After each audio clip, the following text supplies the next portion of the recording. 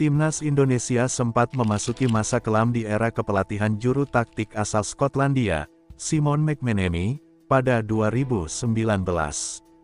Saat itu dari tujuh laga yang dijalani Timnas Indonesia di bawah asuhan Simon McManamy, skuad Garuda hanya mendapatkan dua menang dan lima kalah.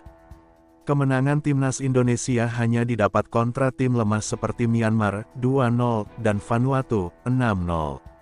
Selain itu, skuad Garuda dihajar Yordania, 1-4, dan tumbang di empat laga awal babak kedua grup G kualifikasi Piala Dunia 2022 zona Asia. Saat itu di empat laga awal, Timnas Indonesia tumbang 0-2 dari Malaysia, dipermalukan Thailand 0-3, dihancurkan Uni Emirat Arab 0-5 dan ditelanjangi Vietnam di kendang sendiri dengan skor 1-3.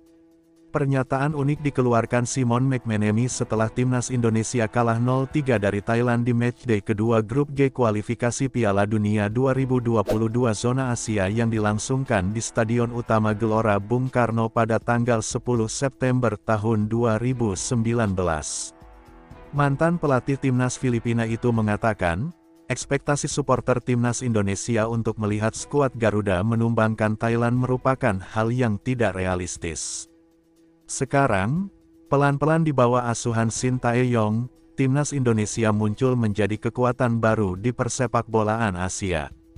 Shin Tae-yong berhasil mengantarkan timnas Indonesia lolos ke Piala Asia 2023, atau yang pertama dalam 16 tahun terakhir.